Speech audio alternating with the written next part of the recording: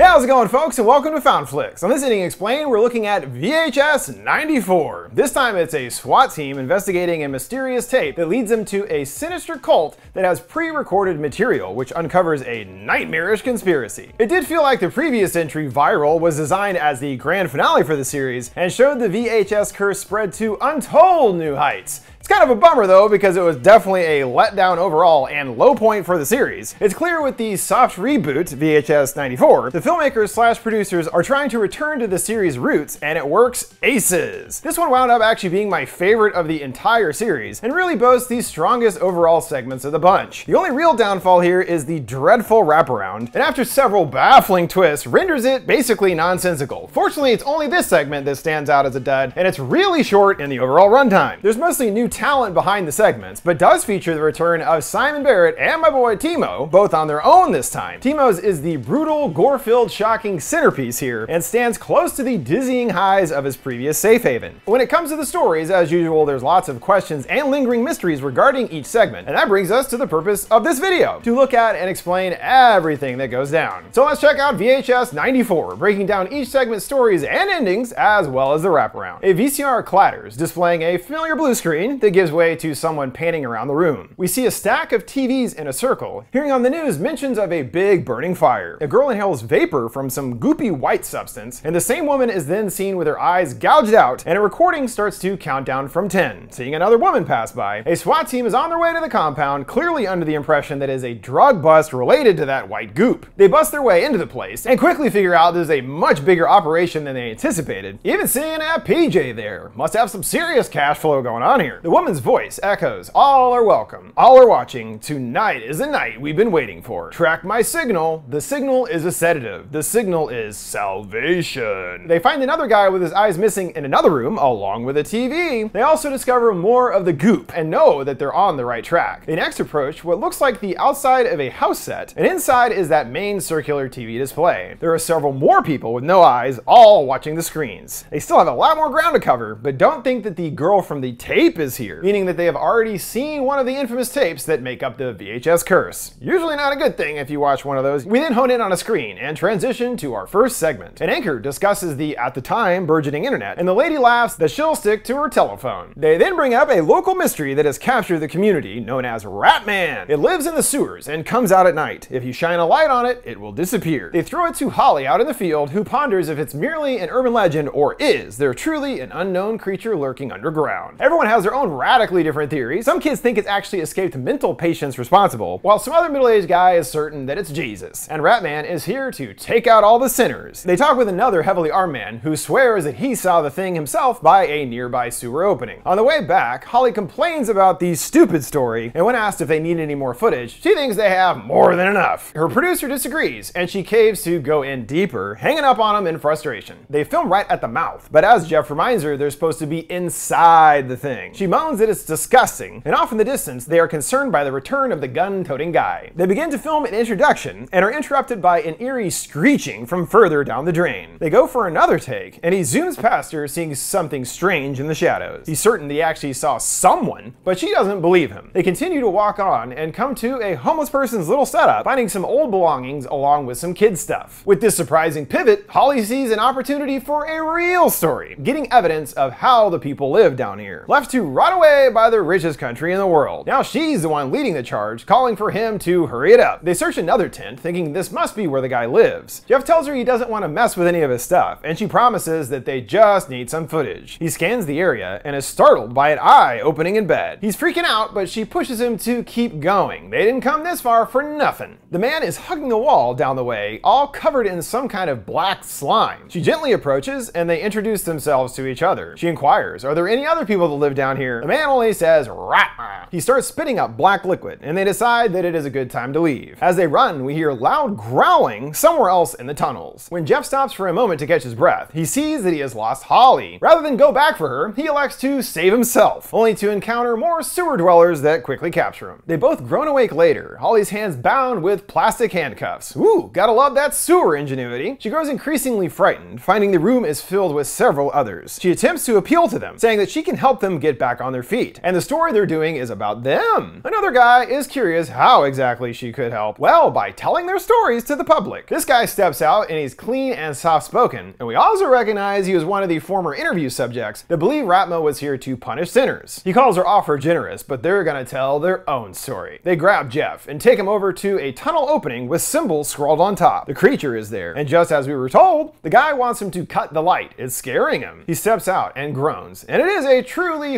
horrifying rat-human hybrid creature. The guy takes some of the black spittle goo and proclaims this is in the name of Raatma, pouring it right over Jeff's head. It instantly causes his skin to painfully burn, which proves to be fatal. Holly is even more alarmed at the sight, begging them not to do this. He encourages that while he wasn't worthy, perhaps she is. She could be saved for all her sins. They present her to the creature. It's time to see if she's welcome to the new world, and it's not up to him to judge. That's for the new gods to do. The creature shrieks, spilling goo out all over her. It is pretty scary, I'm sure, but her face didn't get melted, implying that she has been accepted. Congrats! We're interrupted by a rogue veggie masher infomercial that claims by crushing your produce, you unleash their full vitamin potential. Nah, Okay? We're back on the news, and Holly has returned following her harrowing rescue. The rescuers are seen pulling her out covered in the same slime, appearing in a complete daze. As for Jeff, there is no sign of him. But hey, happy to have you back, Holly. She cheerily begins a story on an upcoming pumpkin festival, but keeps inserting Raatma into her sentences. She continues saying his name and begins to groan and bleed. She vomits up the black stuff all over him, which burns his skin, until gruesomely melting his entire face off. She regains her composure, casually moving on to sports news. She then signs off, This is Holly with Channel 6 News. Hail Raatma! And an emergency broadcast message takes over. Based on what the guy said, it sounds like they were trying to create a new world led by their underground god. And how things turn out makes it look like they are well on their way. At the compound, the team continues their trek, warning that drug super labs like these can be booby trapped. They enter what somewhat resembles a church, finding a projector going, along with several pieces of mannequins in the seats. There's also a couple eyeballs that make them want to call for backup, and Spivey offers if this ends up on the news, saying that he's got a face for TV. We move to the projector screen and static takes over. At a funeral home for a younger guy, Andrew, Haley is tasked with hosting her very first overnight wake. Her boss informs her that the family has requested for the entire thing to be filmed, so make sure to keep switching out fresh tapes. Another guy, Tim, enters noticing that the casket is strangely crooked, but they brush it off as no big deal and shove it back into place. Tim calls Andrew a big boy, what's left of him anyway, learning that he died in some kind of accident. He also tells her not to worry though, he was able to fix him up pretty good, well, except for his face. The others leave and it's just Haley all alone until the morning. The funeral procession goes on and she doesn't know what to do as no one is there. About to change tapes, she decides to call her boss, telling them that she feels dumb just filming her standing around. Maybe the attendants got caught in the big storm going on, or maybe, you know, no one liked the guy. He tells her to just keep doing her job and everything will be just fine. Thunder claps and the lights blink for a moment. Feeling on edge, she calls her friend Sharon, asking her to call back if she's still up. There's another loud rumble, and she's shocked to hear what sounds like groaning coming from the casket.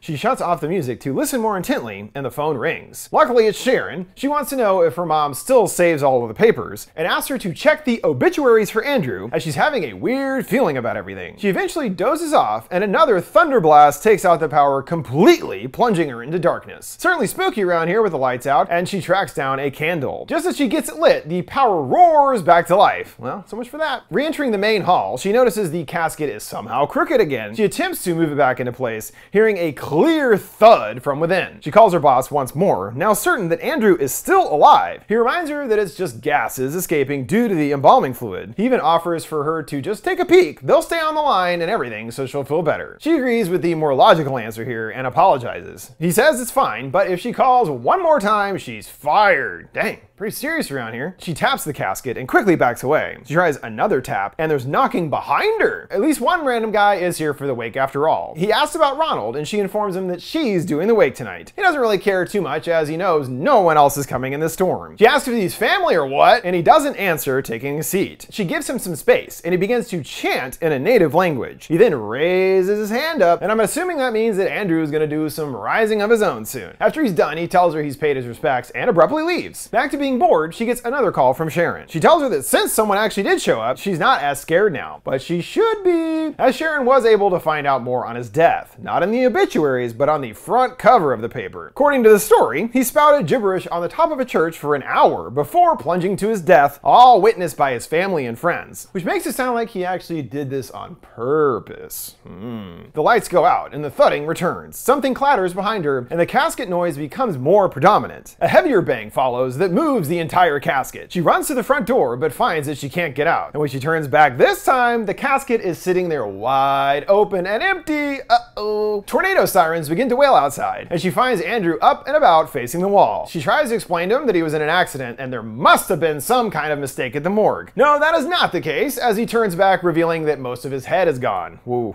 That's not good. She runs off and hides amongst the chairs. Since he has no eyes, she does a little test with a flashlight and finds out that he can't actually see her. She sneaks through the rows of seats quietly, but can't help but shriek when finding his hand. The sound draws him to her, and she moves to behind his casket. All of his intestines start spilling out, and she then finds the rest of his face, including an eye that is closed, fortunately. She tries to lure him away by turning on another camera, and the eye shoots open. Now he can see her and descends upon her, hearing her flesh tearing. Just as he attacks, the tornado completely completely shatters all the windows and wrecks the place. The camera comes back on later, and Haley hobbles through the disarray, stumbling her way through the broken window. After all that, I think it's safe to say that Andrew did take his life on purpose with the specific intent of being resurrected. Doesn't make sense otherwise. It must be some kind of religious ritual that the older guy performs, yet even before that, there were some rumblings from the coffin. As for Haley's fate, it's hard to say exactly what happened. Yet she was definitely getting killed right when the storm hit. Yet we see her walking away alone, no sign of Andrew at all. So perhaps she was actually zombified like Andrew, or even was possessed by him in some way. Now, word from our sponsor, the official The Lord of the Rings, The Rings of Power podcast. I'm sure you're aware of the new Prime Video series, The Rings of Power, set in the world of The Lord of the Rings. I'm a huge fan of the franchise and really dug the entire season. The whole thing, including the finale, is available to watch right now. But if you're like me and get overwhelmed with all the stories, characters, the funny names, and locations, you have to check out the official The Lord of the Rings, The Rings of Power podcast. There's deep dives on each and every one of the eight episodes, where host Felicia Day is joined by several special guests to peel back the curtain and give us an inside look at what it took to bring the world of Middle Earth to life. You'll get to hear stories and insights from the cast and crew, along with Easter eggs you don't want to miss. Each episode also features interviews with the showrunners JD Payne and Patrick McKay, and you know they're going to have a lot of inside scoops about the stories so far and what comes next. Watch The Rings of Power on Prime Video and listen to all eight episodes of the official The Lord of the Rings, The Rings of Power podcast for free on Amazon Music. Download the Amazon Music app now. The SWAT team is still on the move, and in another area find a child's room with tons of stuffed animals along with a smaller TV. They continue on finding some body parts, radioing in they're gonna need a gravedigger. The commander is concerned that they're still split up and calls for everyone to roll call. The woman's voice starts up as they pass a room loaded with upside down crosses. All are welcome. The signal is a salvation, and forever starts right now. A man comes to, screeching in pain, and we see why he has mechanical spider limbs attached to his disembodied head. The electronics become unstable and he crashes to the ground. This is all the work of mad scientist Dr. James Suhendra, who is attempting to fuse man and machine together into one. But so far the results are less than spectacular. He's been at this for a while, narrating that subject 97 was another failure, growing upset. He soon figures out another method to try, involving keeping specific parts of the brain active. He will try it out on two different new subjects, 98, an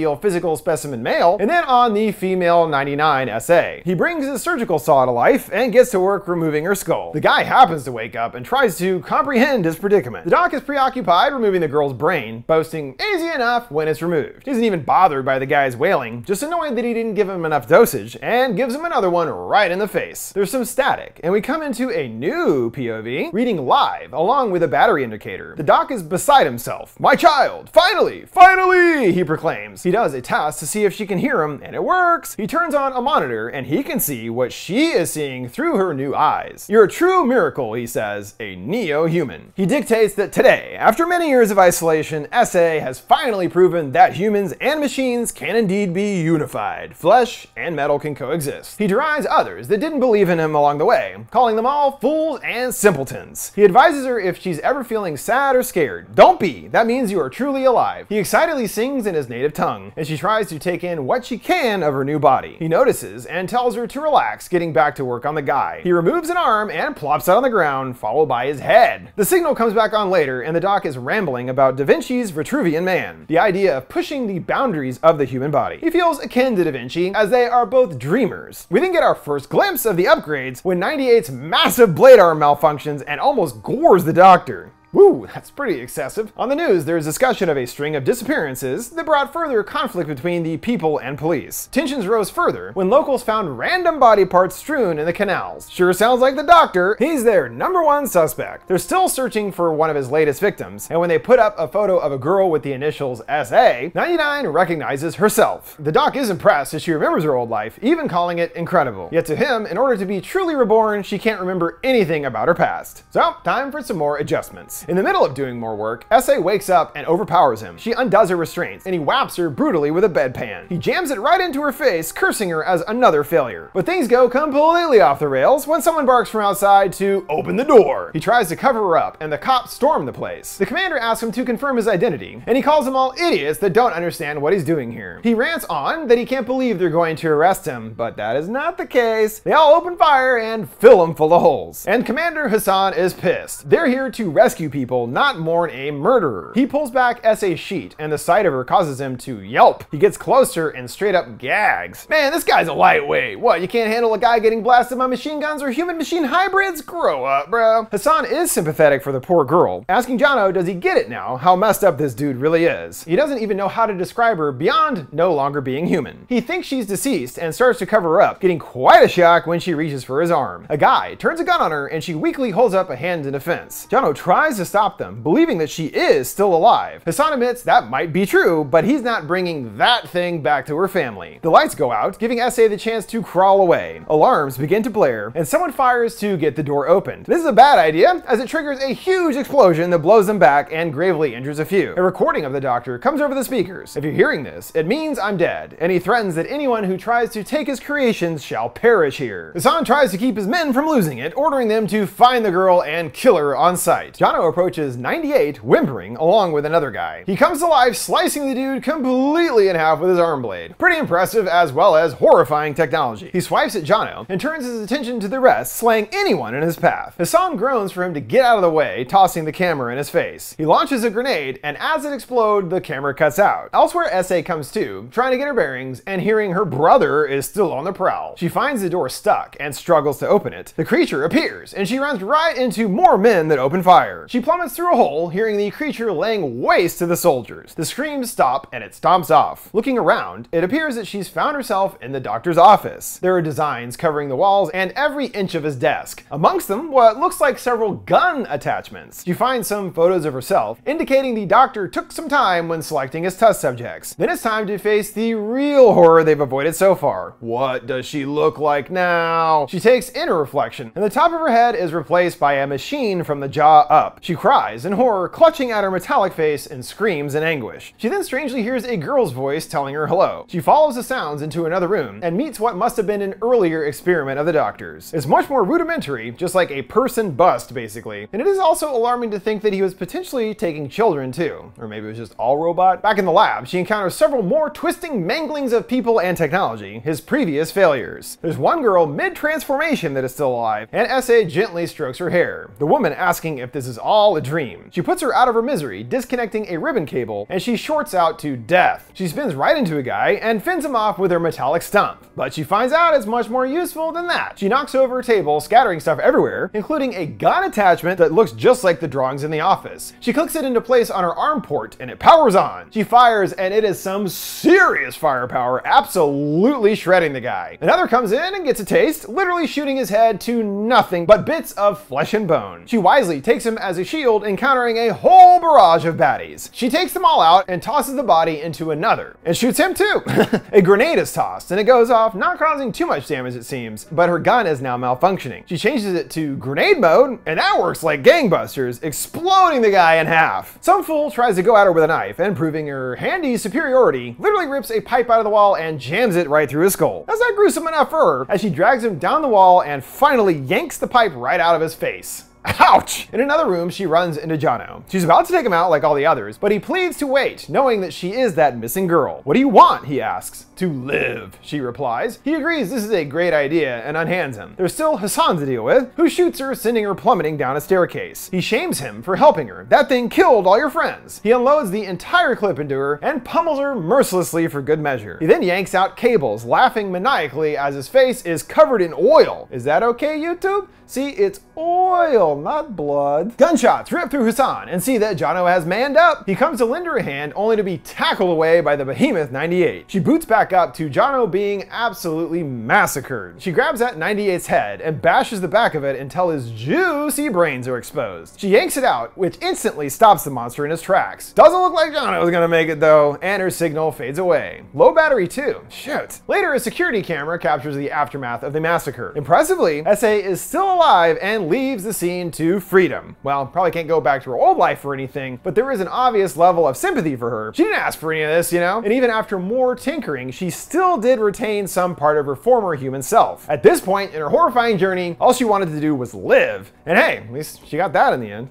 You know? The team is still wandering around the facility aimlessly, and Gary is on edge after finding the body parts. He thought no one would get hurt, but Nash gravely tells him someone always gets hurt. She turns on another camera and faces us. Forever starts right now, she says. Well, then she must be part of the so-called drug makers here, since that phrase was in the recording at the TVs. The guy's all over the place, grunting that he hates this facility, as they pass by rows and rows of static-filled TVs. Slater can't handle it anymore, and she tells him to not lose his head. He stares at a screen and instantly falls to his knees, slack-jawed in a trance. Man, that worked fast, and he gets to enjoy our final segment. It follows a ragtag militia group with big plans to save the soul of America, though it comes from an unexpectedly supernatural source. They gather at a small wooden house slash cage adorned with crosses outside, hearing someone whimpering within. They fling open the door, and their captive pleads, No, please! The leader, Greg, begins to recite a Bible verse, and they shoot him in the head point blank. Greg lays out his feelings about his once great country. It has now been plagued by a rotting cancer. Only he and his followers of the First Patriot Militia can save America's soul. He makes mention of a mass cleansing at hand, thanks to a weapon that Christ has bestowed upon them. Thanks to him, they can truly become a righteous fist of justice. Everyone cheering and firing in jubilation. They all round up to case a building, Jimmy thinking they could walk the beast right inside. They're also concerned with trying to figure the ideal way to get inside, and the position of sunlight is important. Hmm, I wonder what kind of creature they're talking about